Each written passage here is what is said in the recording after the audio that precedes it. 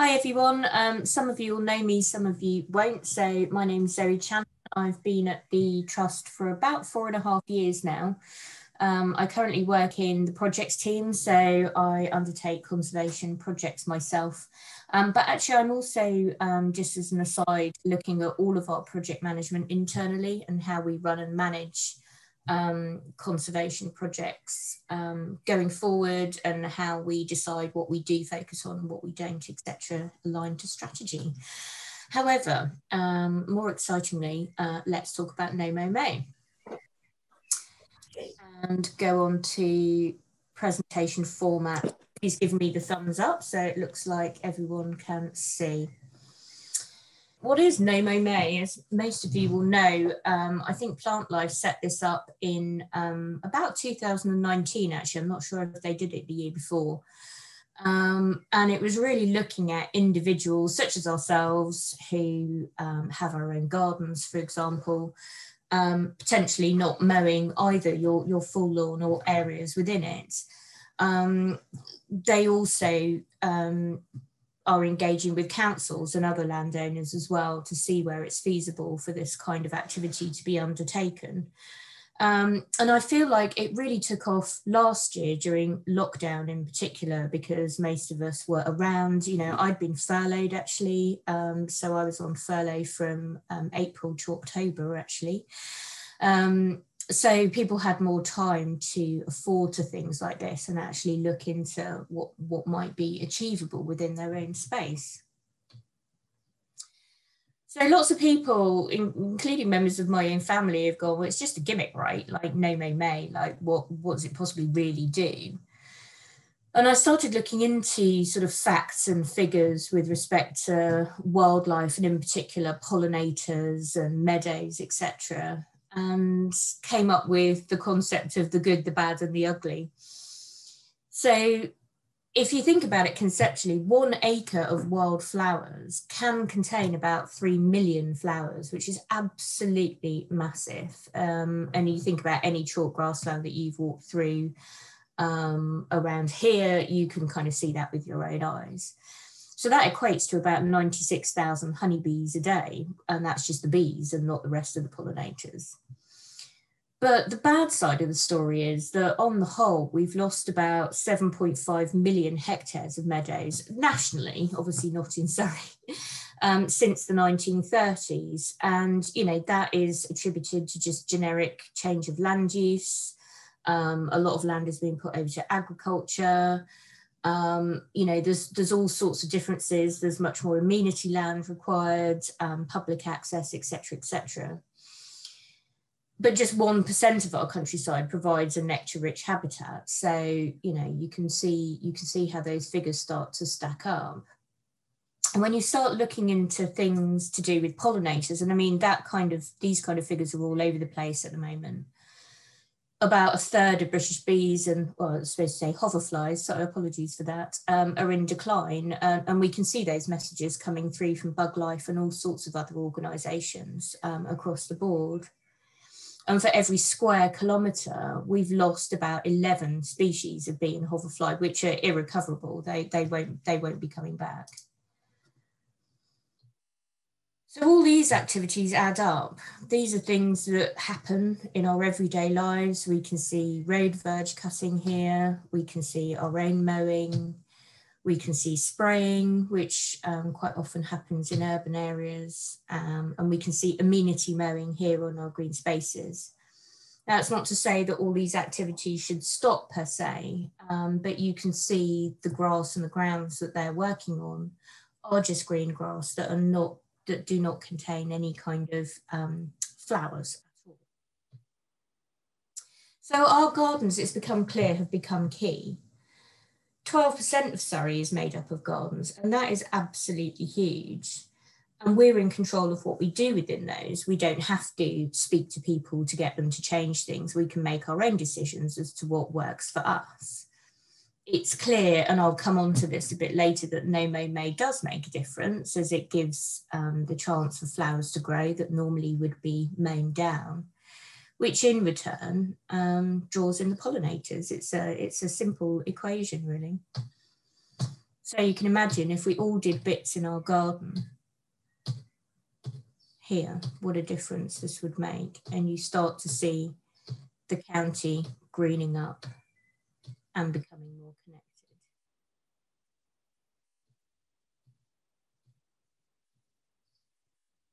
And in return, you will get bees.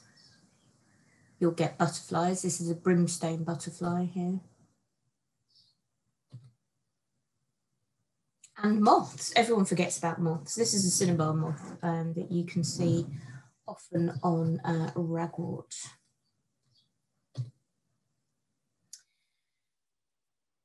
Somebody sent me this meme and I was thinking twice about whether or not I should put it in, but I just found it hilarious. so it's American, so uh, uh, excuse the terminology around yard, um, but basically it's saying that we need to think differently about the way that we manage our spaces. Um, you know, historically, we do do a lot of mowing. Uh, certainly in the UK, um, there is a keenness to have neatly manicured lawns, etc., etc. Um, but that's not not always going to give us what we need. Lawns make a huge difference, so as a habitat within their own right. So changing your mowing regime can create enough nectar for about 10 times more pollinators. And that's just within our own space. So imagine if you made a change in your own lawn, but then your neighbour did as well, and then the next door neighbour did, and suddenly your street was different.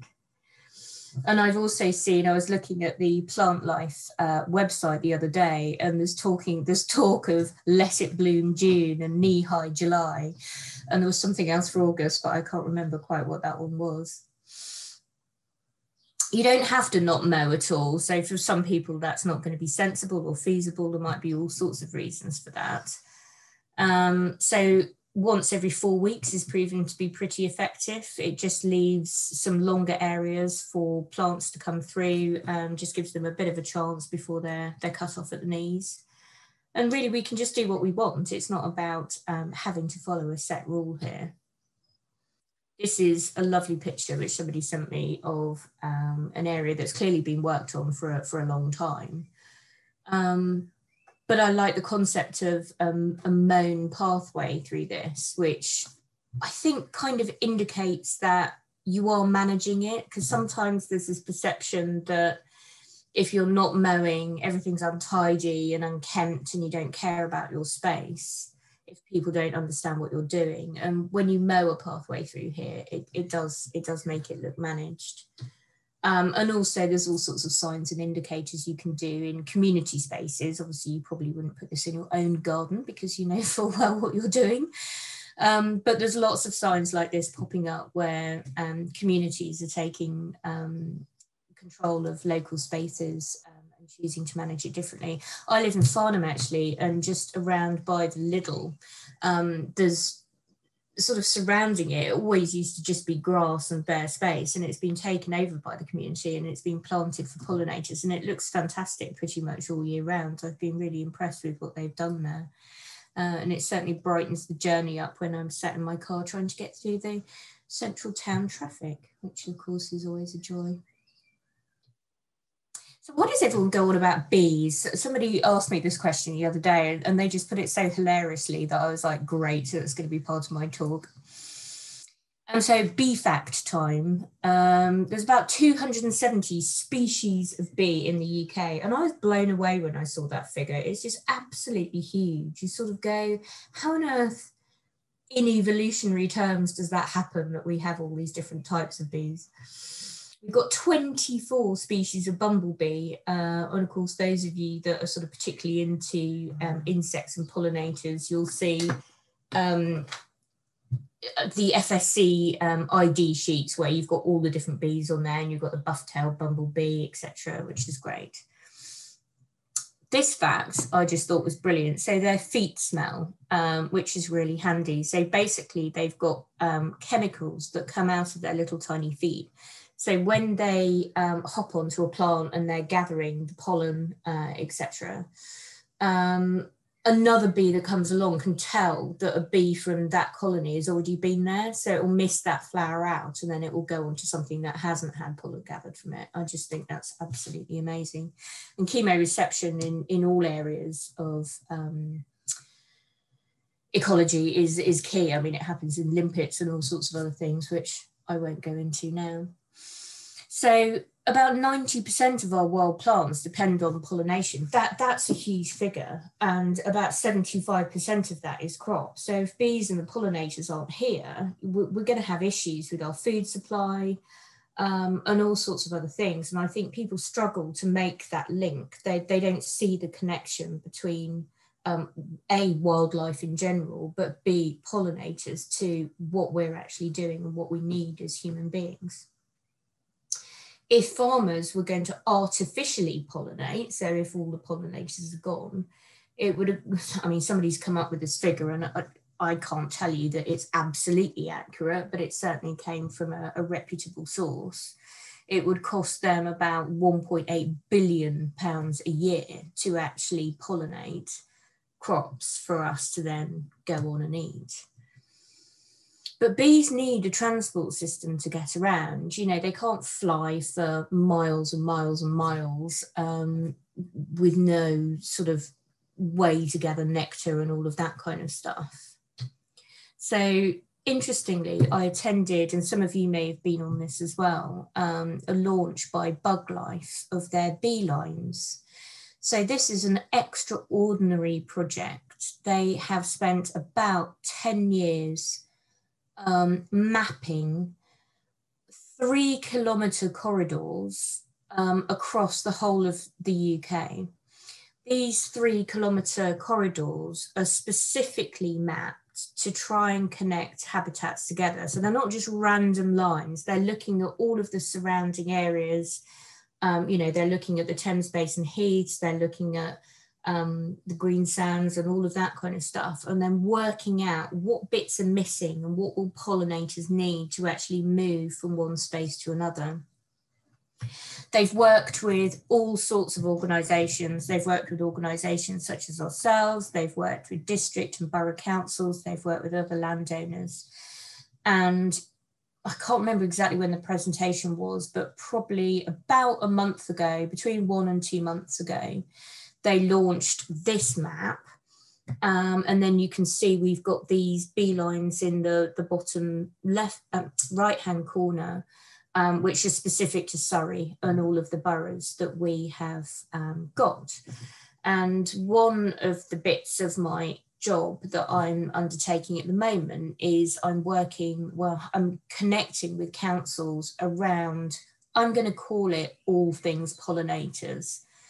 So, for example, that includes conversations around pesticide use. It, it contains conversations around B-Lines and how those connect between the areas that they manage.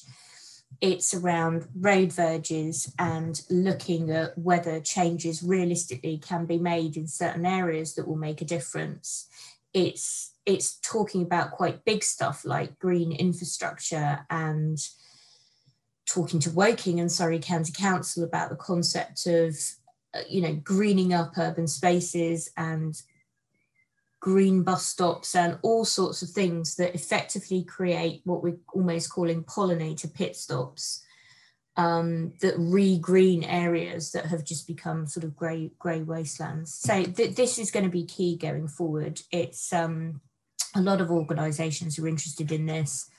I particularly am, and um, it's it's got the interest, more importantly, of the councils, which is which is a good thing. So this is the image here of how bees would actually make their way through this um, through this corridor or highway. But it's not just about bees.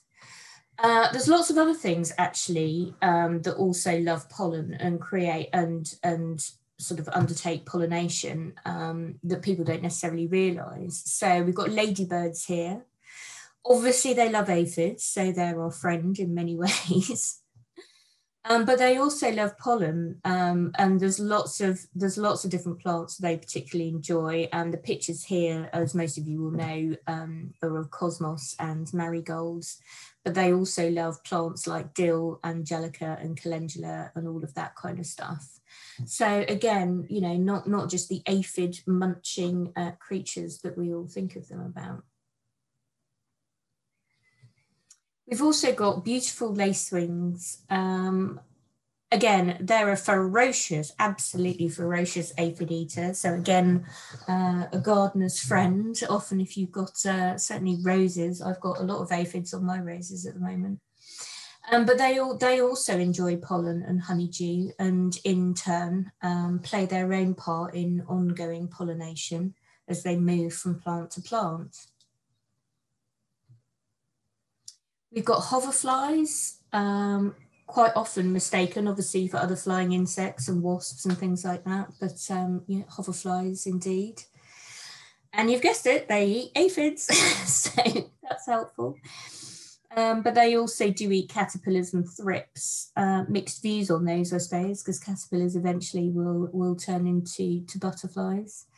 Um, but again, they they love nectar, and again, they really like dahlias um, and Michaelmas daisies and achilleas and all of that kind of stuff. So you can imagine your own gardens and the plants that you've got living there, not necessarily in your lawn, but in your flower beds, um, and you can see how it all adds up.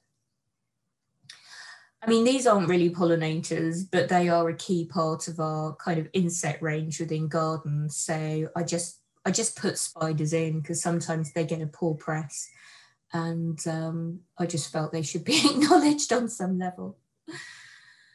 And I really like the pictures as well. I think these are excellent. Some of these, um, some of our own staff have taken, so it's amazing soldier beetles. Uh, these are brilliant. Uh, you should be seeing these around and about at the moment, and often, often some of them can be quite bright red. They're literally killing machines. So they are all over slugs and snails, which um, would fill me with joy if I had an enormous amount circling around my courgettes at the moment. Um, and of course, they love aphids.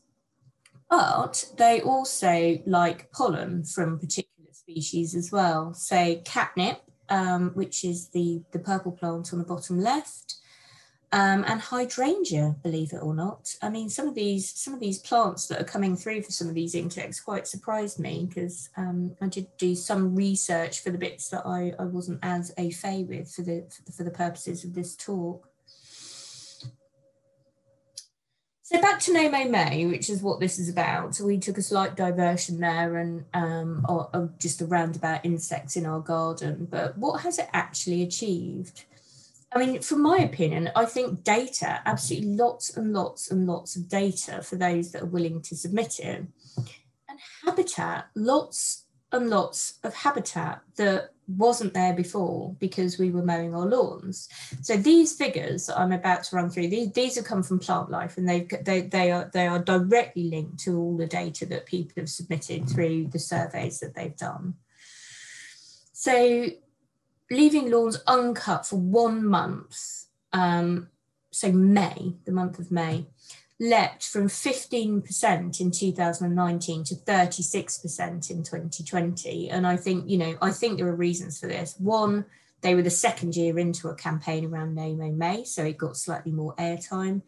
Um, and two, we were in the middle of a pandemic and people were thinking about things differently, and some people had more time to give um, to their gardens.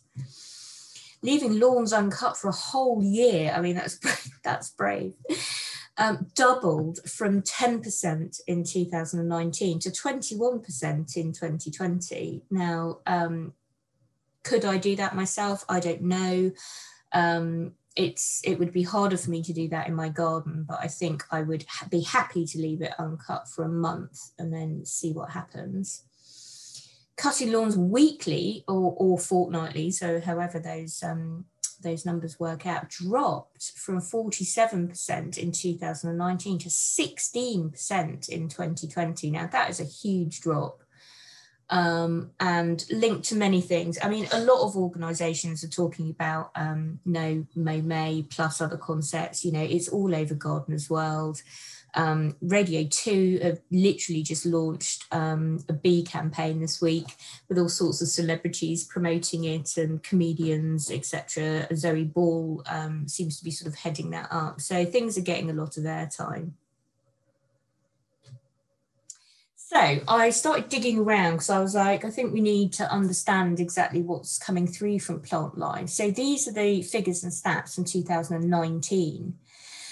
So in, in total, um, just shy of 500,000 individual flowers were counted and about 203 different species were found. And I mean, that's just extraordinary. And this is just in lawn. So this is the every flower count survey results.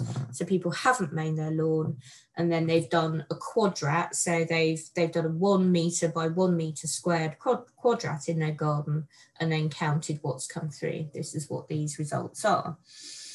So you can see that daisy, daisies, as, as you'd probably expect, um, certainly the front runner here by far, by, by a million miles, really. Um, but then you've got lots of other cool stuff coming through. You've got the white clovers, you've got the self heal, which sometimes I always confuse with bugle, and I have to remember the different habitats and, and where they're found, etc. I'm not a plant expert. I'm quite new to all of this kind of stuff. So so learning learning with the rest of the uh, the Plantlife troop. Bird's foot trefoil, brilliant. Absolutely loved the fact that that was coming through in lawns. Germander Speedwell, lovely plant. I did get it in my lawn and I was very happy to see that come through. Creeping Buttercup and dandelion. So these these were the sort of top runners really, and they didn't go into more detail for, for the lower down species. So interestingly, they, they also did some analysis around who produces the most nectar. And you can see here that Daisy is actually fourth and the front runner is the white clover. And actually, when I think about it and I think back to my lawn and, and observing what's flying around and where they're going to, they do favour the white clovers um, that are there. Dandelion, obviously key, you know, there's been a big campaign about people not digging them out and leaving them for longer and all of that kind of stuff. And I've made a real effort to do that this year. Um, and I think that's worked well. Um, we've got red clover in here as well, which um, I, I, was just really surprised when I looked at it, the difference between the white clover and the red clover and the amount of nectar that they produce. You sort of think, why are they so different? So my next plan is to, to look into that and see what's what. Um, and towards the bottom, you've got the oxeye daisies um, and the cat's ear and hawkbit, much less, um, which is a shame actually, because the, certainly with the oxeye daisies, those are the sorts of things that you can see, you know, coming through in spades on the A31, etc. But that's not to say they don't play a role. It's just for me, it was very surprising to see how the levels were so different between all of these different flowers. So in 2020, um, the top lawn flowers were quite different. Um, so you've got a couple of other things coming into here. Um, and sorry, my eyes are just, yeah. So they actually tracked the, the cat's ear and the hawk bits, meadow buttercup instead of um, creeping butterfly, buttercup, sorry, and field forget me not, which was new, um, which is brilliant. And I'm not quite sure what changes some of these things in lawns from one year to the next. The survey results are quite different um, for 2020, and I'll come on to some other slides that are quite interesting.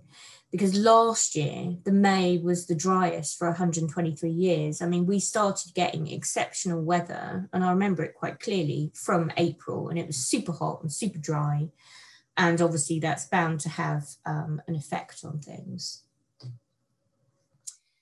So, oh no, this header is in my way, so I can't read the top of the slide. Um,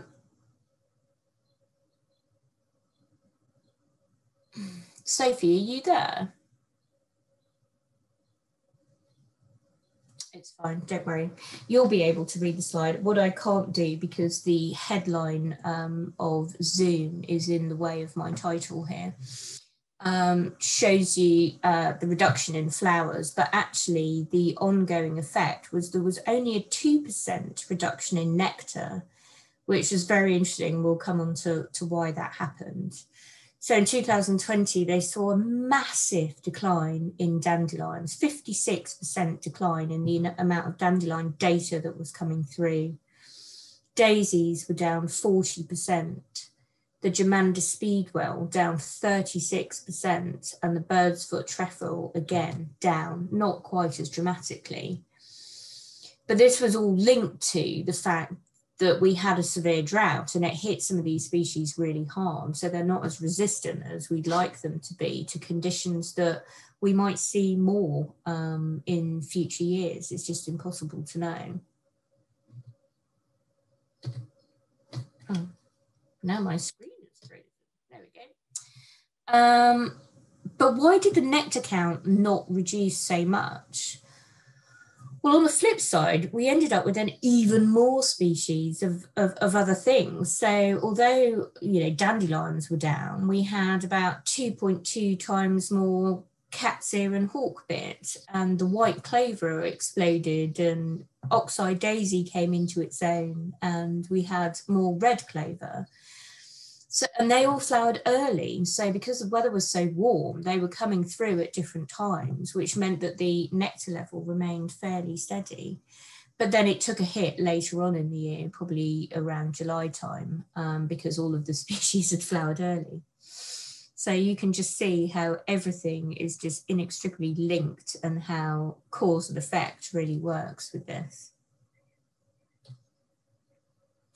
So for 2020, uh, we've got a national nectar score.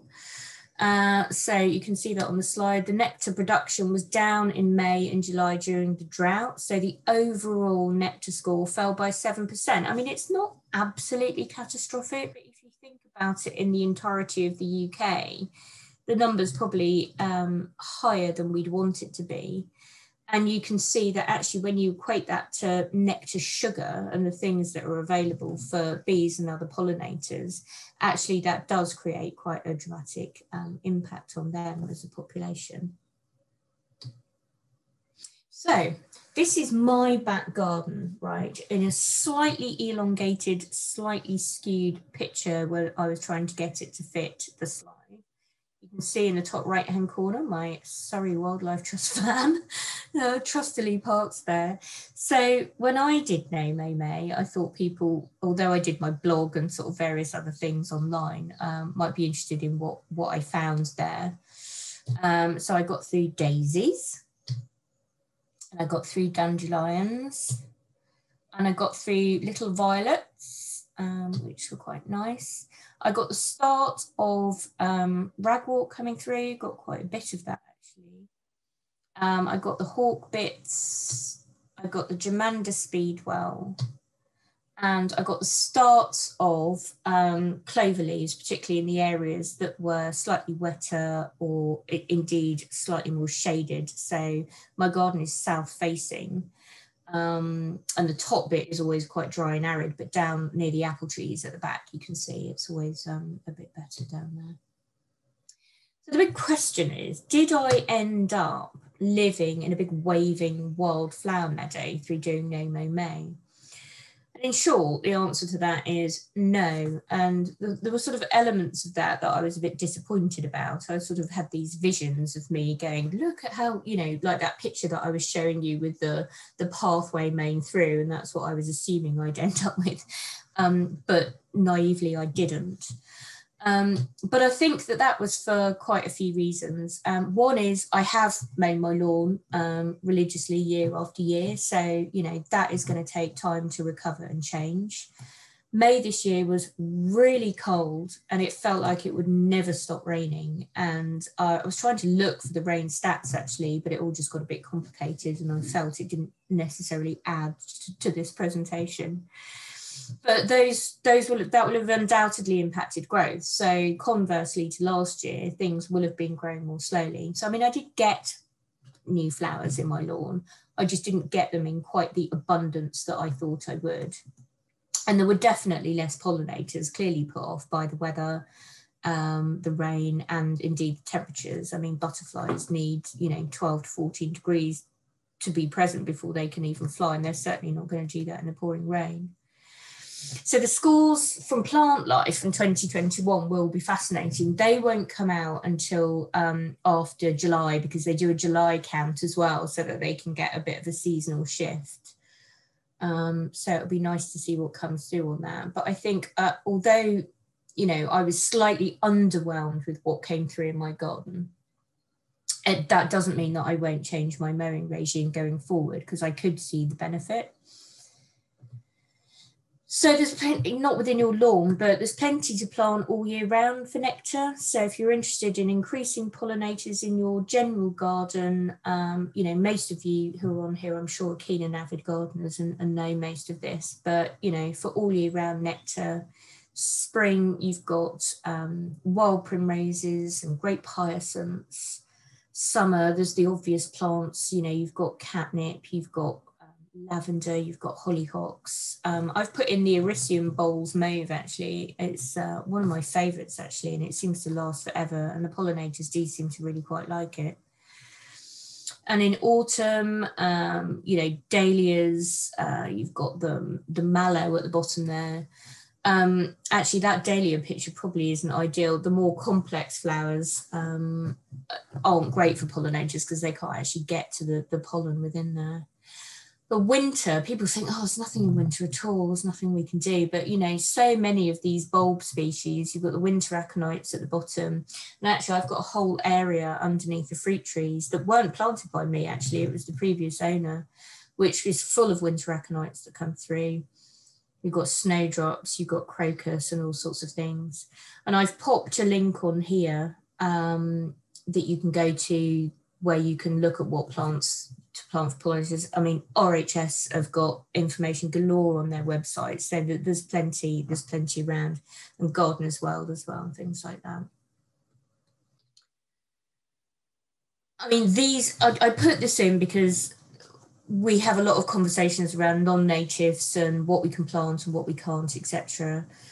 And there's a difference between non-native and an invasive species, I think. Um, non-natives aren't necessarily awful if you're looking at planting them in your own garden and sometimes they can help you to extend your nectar period from certainly um, into the later summer the, the sort of august september time.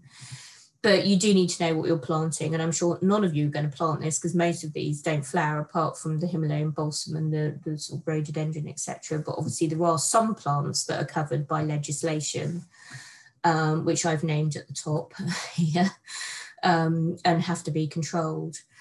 Um, and sort of people say to me, "Oh, what, what's what's what's the problem with Himalayan balsam? You know, it looks quite pretty. It's this and that." And actually, that's that's indeed why it was brought over here by the Victorians. Um, and it does you know have nice flower on it etc but it the problem with it is it dominates and it takes over and it grows really quickly and fast mm. and it just smothers any other smaller uk native species that would come through. Um, so got absolutely no chance of growing so therefore they don't. And it just it affects our native populations. And then we've got others um, like the Spanish bluebell, which hybridize with the UK species, and therefore you're losing um, something that's native and quite often they compete for resources, etc. There's loads of um, information if you're more interested in invasive uh, species, non-native species, and in particular the wildlife law, etc., um, which I wasn't going to um, go into more detail on that, but just have a think about what you're planting. There's been a bit of a hoo-ha recently around some of the aquatic species that are sold in in some garden centres um, that actually sort of have been renamed, but actually are the invasive species, etc. So it's just worth doing a bit of research on that. And that is the totality of the slides and talk today. So